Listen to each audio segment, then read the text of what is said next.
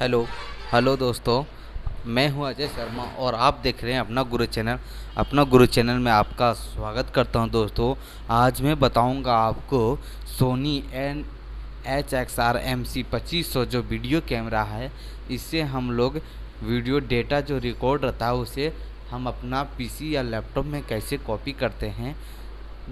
दोस्तों ये कहना बहुत आसान है कि कॉपी करना बहुत आसान है, लेकिन जिन भाई लोग नए नए कैमरा लिए हैं, परेशान हो जाते हैं। हमारे जैसा जो मैं जानकार हूँ, काफ़ी मुझे लगता है कि इस कैमरे के बारे में जानता हूँ। फिर भी मुझे एक टाइम में ऐसी सिचुएशन आई थी कि मैं परेशान हो गया था।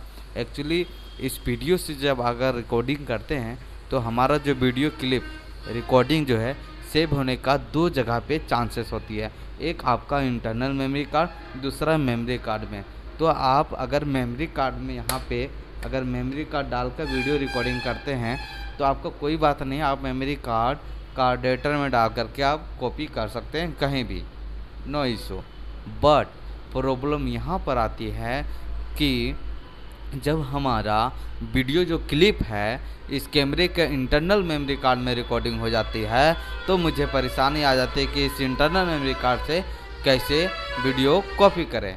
तो इसी परेशानी को दूर करने के लिए आज मैं इस वीडियो में बताऊँगा कि कैसे इस वीडियो के इंटरनल मेमोरी कार्ड से वीडियो कैसे कॉपी करते हैं।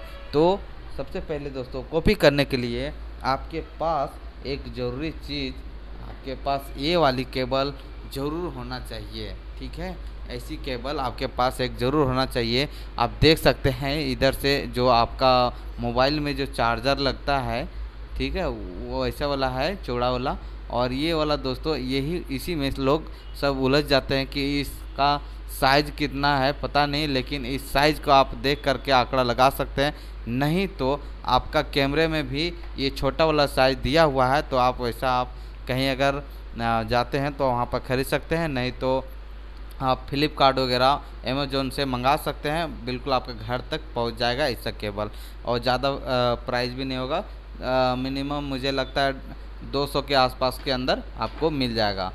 ये मैं परचेज नहीं नहीं किया हूँ दोस्तों। ये मुझे फ्री में मिला है। फ्री में बोले तो आपको बता देता हूँ डिटेल में कि मुझे कहाँ से मिला है। एक्चुअली मैं 2017 में ये हैंडी कैप कैमरा पैनासोनिक का हैंडी कैप कैमरा परचेज किया था। इसी का वो चार्जर वाला केबल है दोस्तों तो मैं उस केबल को अब यूज़ करता हूँ। इस वीडियो कैमरा से, इंटरनल मेमोरी कार्ड से कैसे डेटा कॉपी करते हैं, इसी से कॉपी करता हूँ दोस्तों। तो कॉपी करने के लिए सबसे पहली बात, ये जो छोटा वाला इधर मुँह है, उसी को हम लोग यहाँ पे ढक्कन खोलेंगे। ढक्कन खोलने के बाद यहाँ पे दो यूएसबी बूट केबल है लगाने की जगह। तो ऊपर में नहीं लगाएँगे, नीचे वाले पार्ट्स में लगा देंगे। तो इसको आराम से लगा देता हूँ। ठीक है दोस्तों, लगा दिया हूँ। अब आप देख सकते हैं हमारा यहाँ पर मेमोरी कार्ड नहीं है, ठीक है? और हमारा डेटा भी इसमें है। तो चलिए तो अब इसे हम कॉपी कैसे करेंगे? उसके बाद एक उधर लगा दिए दोस्तों। दूसरा, ये जो है, हम अपना कंप्यूटर में लगा दे रहा हूँ, ठीक है? कंप्यूटर में लगा दिया। लगा दिया। अब कैमरा को ऑन करते हैं। कैमरा ऑन करते ही, दोस्तों कैमरा ऑन करने से पहले एक बार अपना कैमरा को ये चीज़ ज़रूर देख लेंगे कि हमारा कैमरा कितना चार्ज है। अगर आप डेटा कॉपी करने वाले हो इंटरनल मेमोरी कार्ड का कंप्यूटर में तो सबसे पहले आपका कैमरा चार्ज होना चाहिए। कैमरा का जो बैटरी है, वो चार्ज होना चाहिए। क्योंकि दोस्तों, अगर आप डेटा कॉपी करेंगे, तब तक आपका कैमरा जो है, ऑन होना चाहिए, चालू मूड में होना चाहिए, ठीक है? तो इस चीज़ को आप ज़रूर ध्यान में रखते हुए डेटा को कॉपी करेंगे। नहीं तो ऐसा हो सकता है कि आपका आधा अधूरा डेटा कॉपी हो और आधा ना हो तो ऐसे में चांसेस आता है वीडियो वगैरह करप्ट करने का। तो आप एक बार कैमरे को चार्ज कर लें, उसके बाद ही डेटा कॉपी करें। सो, अब मैंने लगा दिया है इस भी के कैमरा भी चालू कर दिया हूँ और हमारा भी 77 परसेंट जो है बैटरी चार्ज है।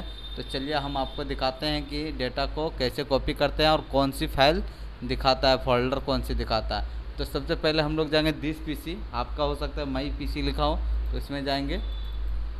जैसे उसमें जाएँगे दोस्तों तो यहाँ पे जितने भी हैं ड्राइव उसमें आप एक चीज़ देखेंगे यूएसबी लिखा होगा। देखिए यू एफ़ और यू आई तो यू एस बी तो ये दिख रहा है कि साफ़ सुथरा, कि खाली है पूरा, और U S B drive I में देखिए, ग्रीन कलर से कुछ है, इस, इसका मतलब इसमें डेटा है, ठीक है? डेटा है। और सबसे ऊपर वाले जो है, A V H D mood, उसको एक बार डबल क्लिक करेंगे। डबल करने के बाद फिर इसमें डबल क्लिक करेंगे। और इसके बाद तीसरा नंबर में आएँगे स्ट्रीम। स्ट्रीम में क्लिक करेंगे और इसके बाद देखिए, हमारा जितना भी डेटा है, इसी में है। अब इस डेटा को हम एक बार एक, आपको एक बार प्ले करके दिखा देता हूँ, सबसे ऊपर वाला फ़ाइल को। देखिए मैंने प्ले कर दिया तो देखिए, ये है हमारा वेडिंग का जो मैंने वेडिंग इसी कैमरे से शूट किया हूँ और इंटरनल में है अभी इसमें, ठीक है?